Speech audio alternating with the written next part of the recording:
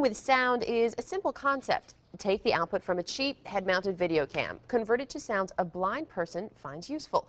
But it's that conversion part where it gets tricky. Rick Lockridge reports. Blinded in a horrible chemical plant accident 24 years ago, Patsy Fletcher now insists she can see the world again through a pair of headphones. Felt like there's branches over here. Are we near a tree? Yeah. Can point evidence now to it. Mm-hmm.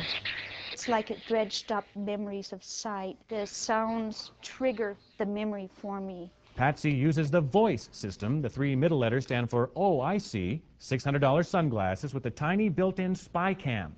A backpack laptop to convert pictures into soundscapes.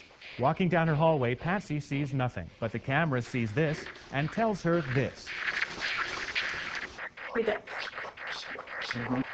Something moving.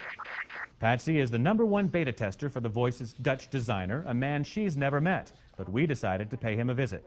And so we came to Eindhoven, Holland's fifth largest city, home to the giant Philips Electronics and to Dutch inventor Peter Meijer. The image gets scanned from left to right and pitch is associated with the height in the image. You hear little sound bursts corresponding to all the little bright squares. Toot toot toot toot toot toot toot toot toot toot. Through the vOICe, a row of windows looks like this. A cameraman like this.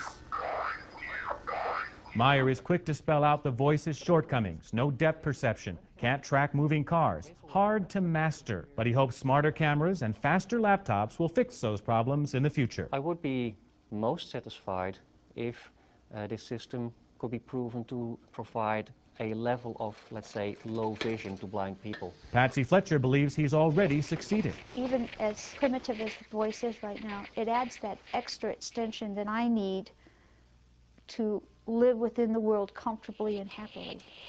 Rick Lockridge, TechTV.